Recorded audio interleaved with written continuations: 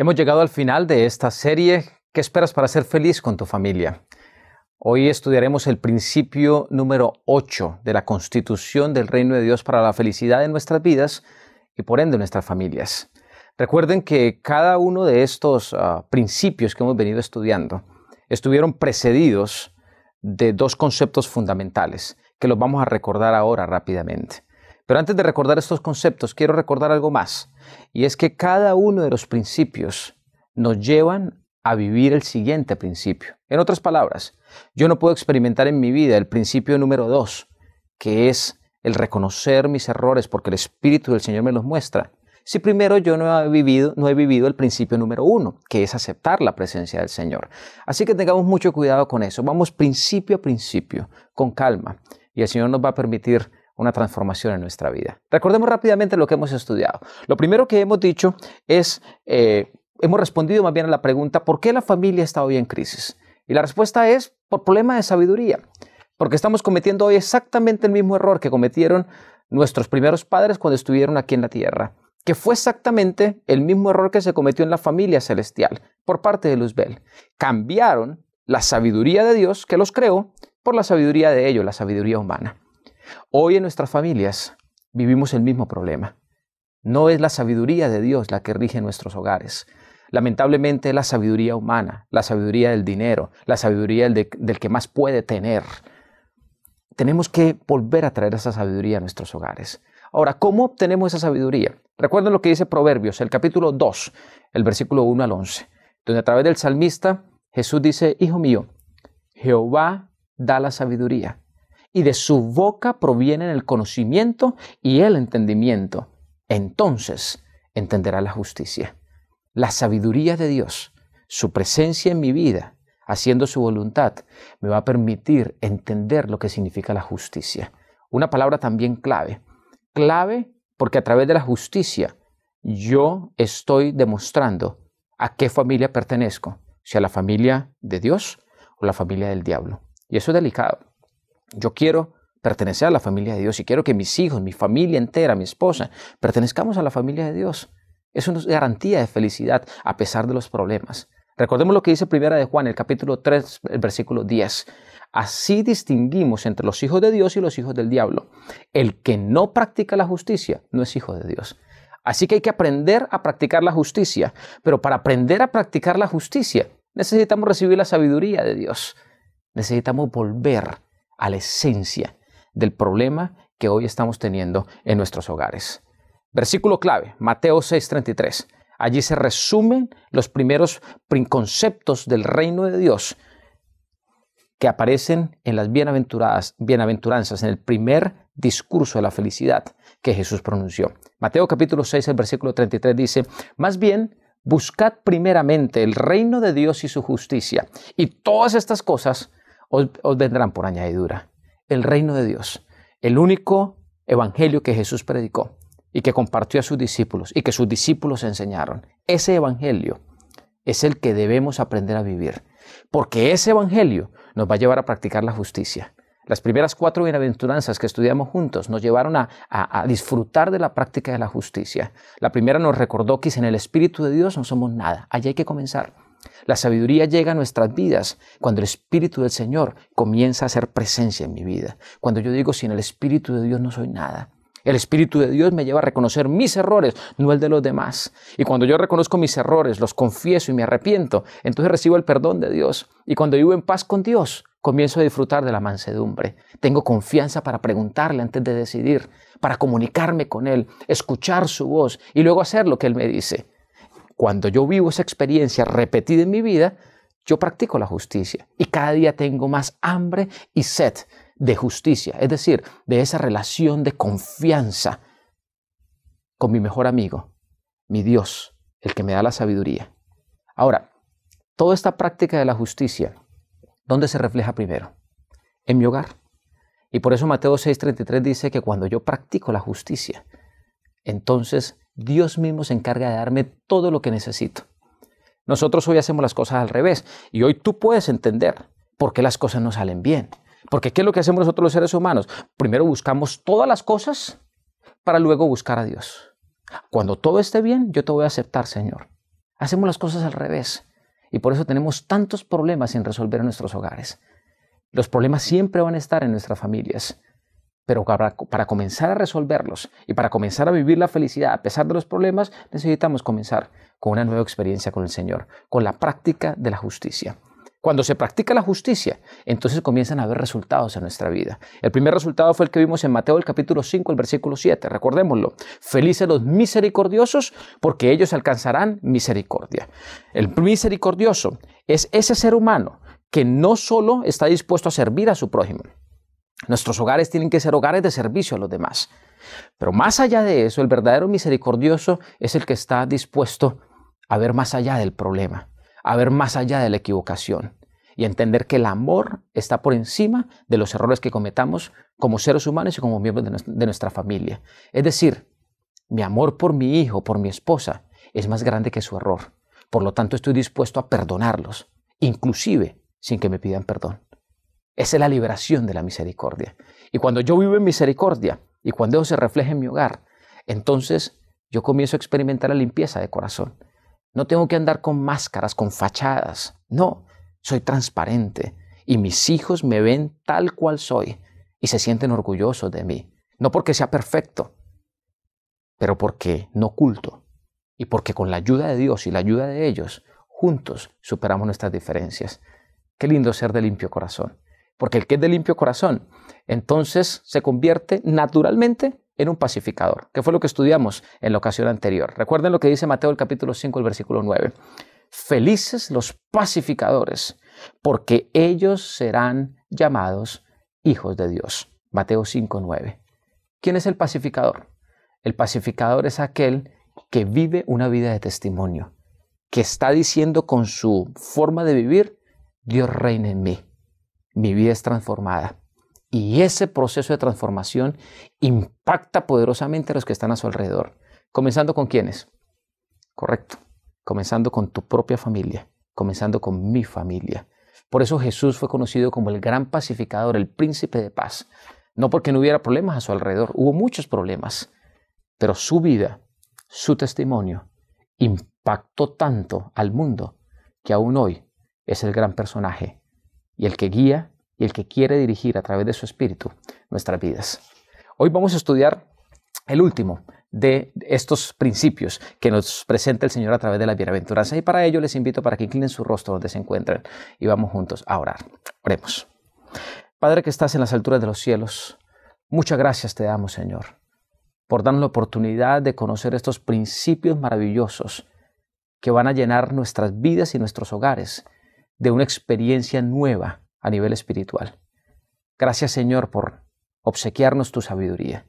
Gracias por llevarnos a practicar la justicia, a entender que contigo lo tenemos todo, Señor. Gracias por permitir que cada uno de nosotros seamos un testimonio vivo. Gracias, Señor, por tener misericordia, por tu gracia en favor de nuestras vidas y de nuestros hogares. Acompáñanos, oh Dios, ahora al estudiar este último tema tan importante, la máxima de la felicidad la máxima que necesitan vivir nuestros hogares, pero que tiene que comenzarse a vivir por mí. Así que danos ahora, Señor, tu sabiduría. En el nombre de Jesús oramos. Amén. Vamos juntos a Mateo capítulo 5 versículos 10 y 11. Quiero decirles que allí aparentemente hay dos bienaventuranzas, pero no son dos bienaventuranzas. Es una bienaventuranza que es tan importante que se ratifica.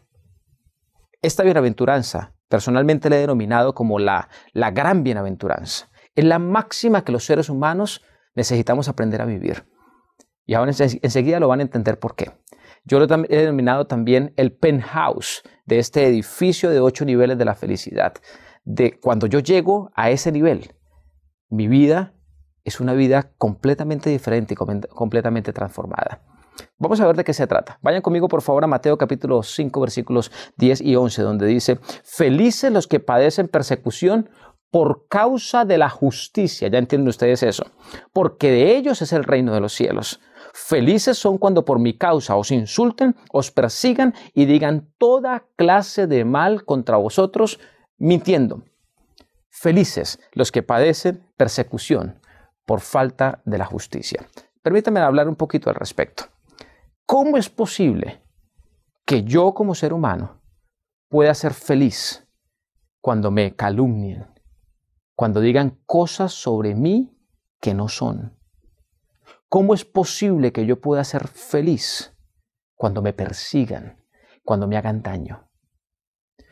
Ese es uno de los puntos neurálgicos o delicados que vivimos nosotros los seres humanos y que nos hace daño a todos nosotros. Porque cuando alguien se atreve a decir lo que no es de mí, inmediatamente mi yo reacciona. ¿Acaso no pasa lo mismo contigo? Porque yo tengo que clarificar que lo que están diciendo no es correcto. Y así yo tenga que mover cielo y tierra, lo voy a hacer. Y voy a luchar para tratar de corregir lo que el otro está diciendo que está mal. ¿Cuántos no hemos convertido ese tipo de reacción en guerras continuas contra otras personas? Inclusive nos hace daño cuando nos critican diciendo la verdad, porque no nos gusta aceptar la crítica.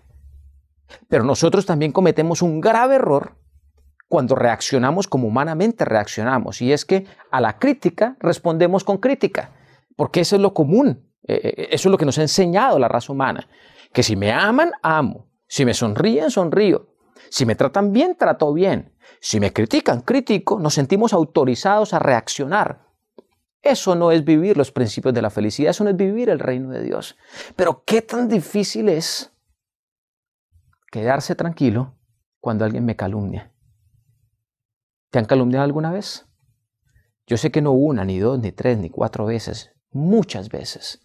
Porque lamentablemente vivimos en un mundo donde la calumnia es una de las herramientas principales que Satanás usa para hacer daño en la vida del ser humano, en su hogar y en su iglesia.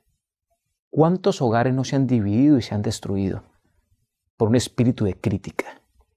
no simplemente calumnia, comencemos con el espíritu de crítica, porque le dije a mi hijo quizás lo que era, pero de la forma equivocada. Y mi hijo nunca pudo perdonar, y yo nunca fui capaz de ir a pedirle perdón.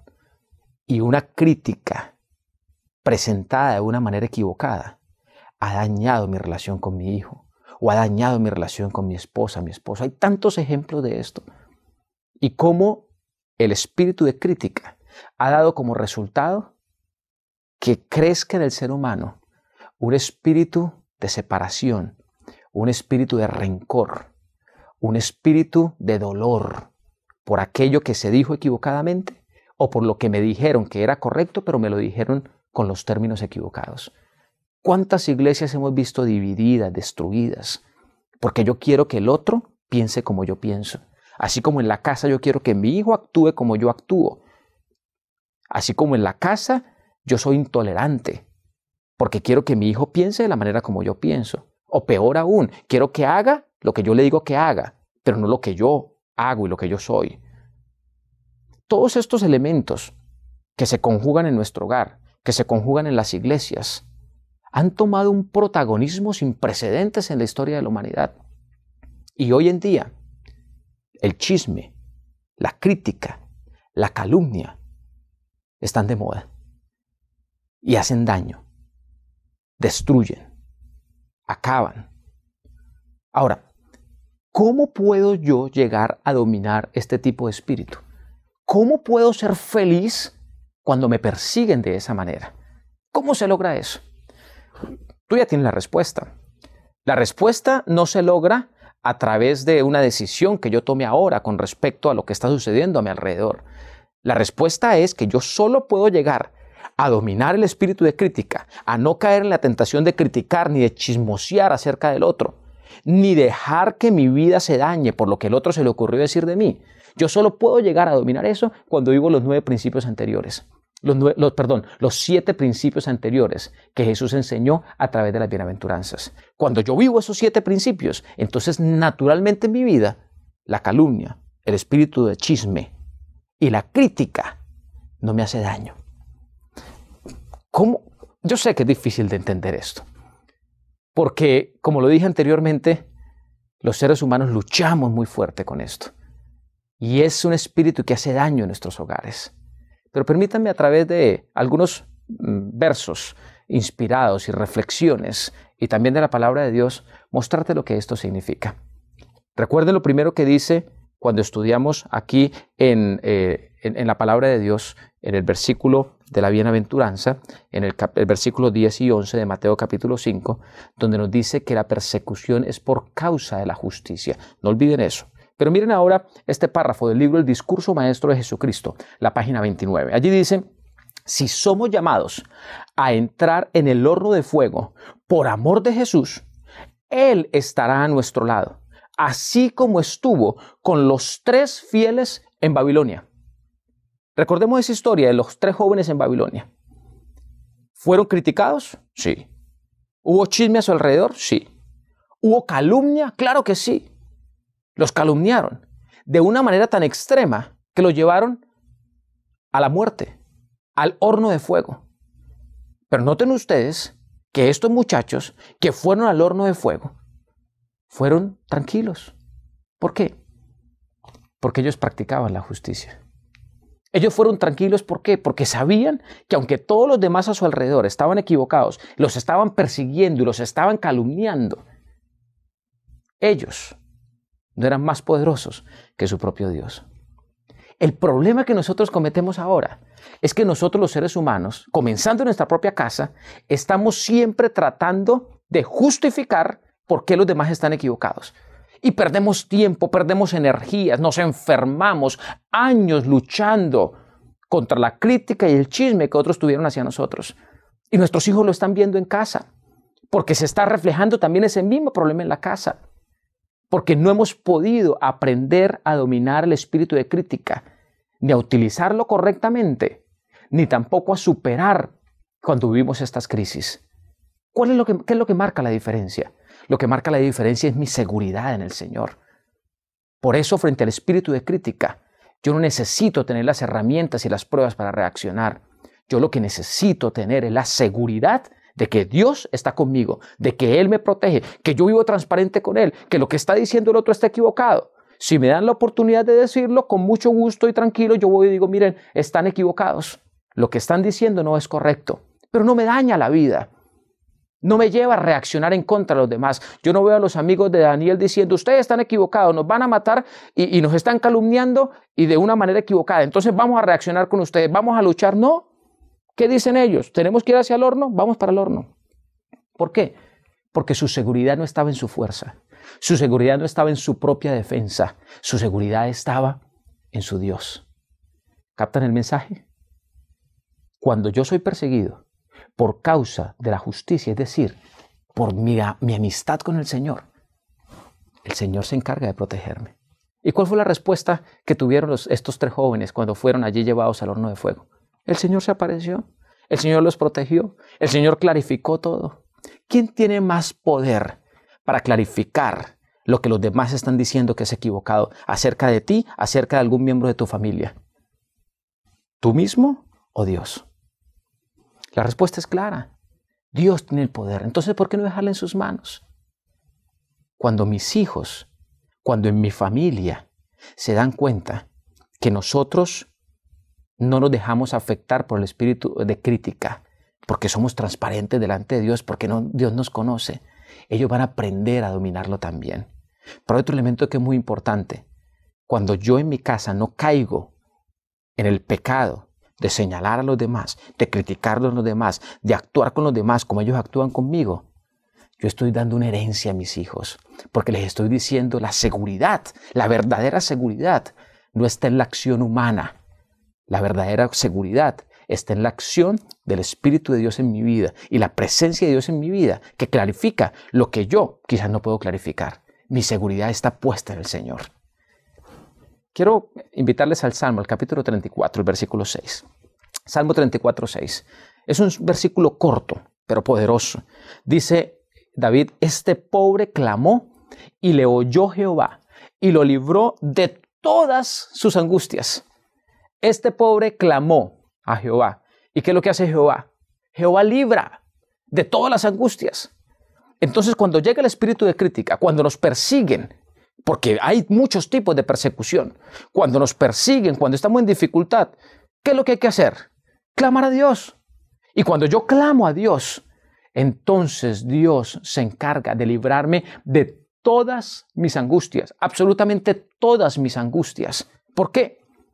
Primero, porque Dios me ama, porque como yo practico justicia, entonces yo soy parte de su familia, yo soy hijo suyo. ¿Y qué padre de familia no está dispuesto a hacer todo lo que tenga a su alcance para ayudar a su hijo, para ratificar en su hijo la seguridad de que no está solo, de que está con él? Eso es lo que necesitan nuestros hijos. Eso es lo que necesitan nuestros hogares.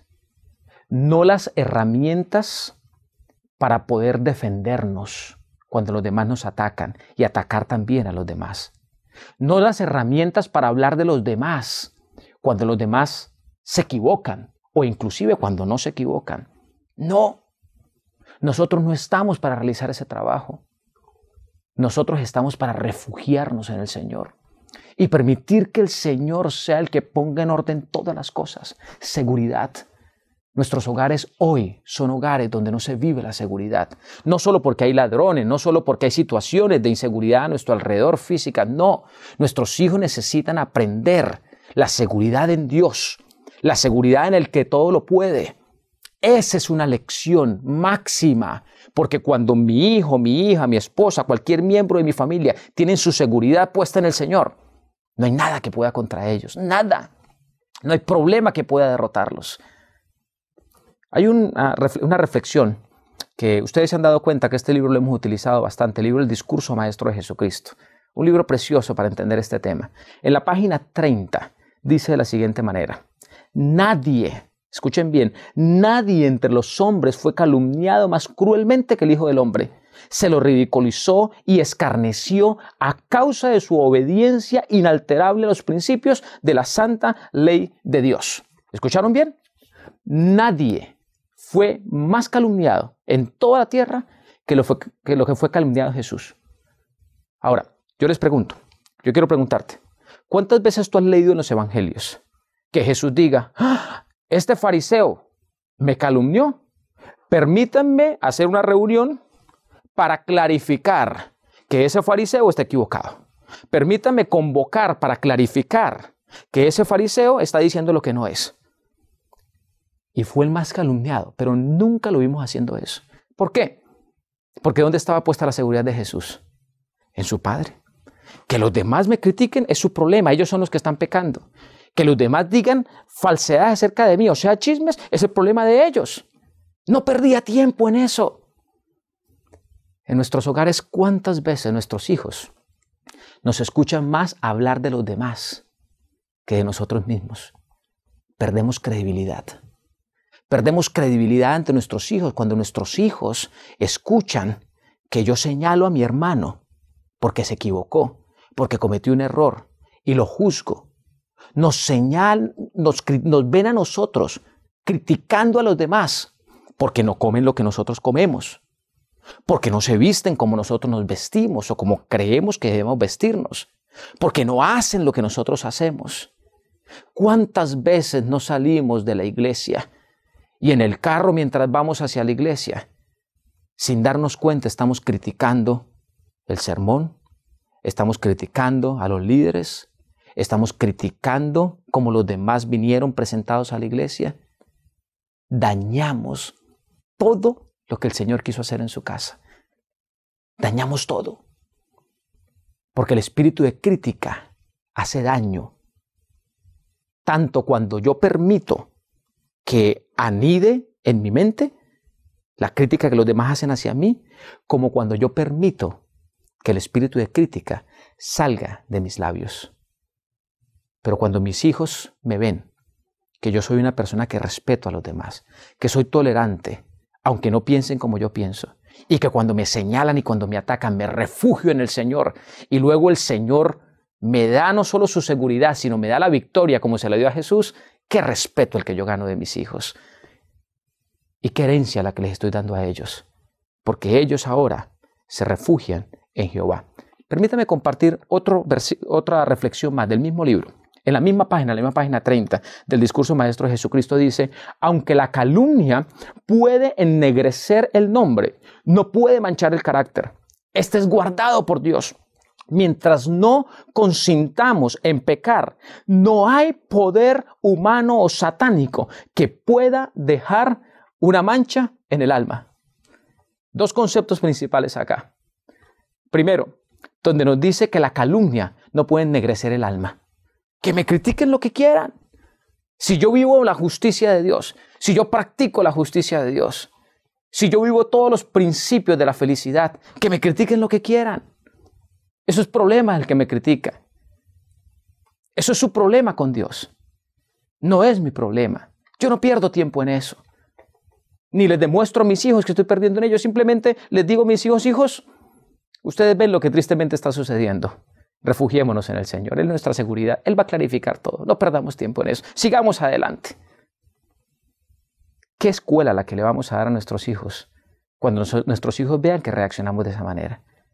Pero qué mala escuela cuando perdemos tiempo defendiéndonos de lo que Dios está dispuesto a defendernos. Ahora, ¿cuándo ocurre eso? ¿Cuándo Dios me defiende? Cuando yo practico justicia, cuando yo soy transparente, cuando vivo los principios de la felicidad, cuando soy un pacificador. Allí Dios está a mi lado, para decirme como le dijo a los tres, no se preocupen, pueden calentar el horno lo que quieran. Yo voy a estar con ustedes, yo los voy a proteger. Hay otro versículo que quiero dejar en sus mentes, Romanos capítulo 15, versículo 2.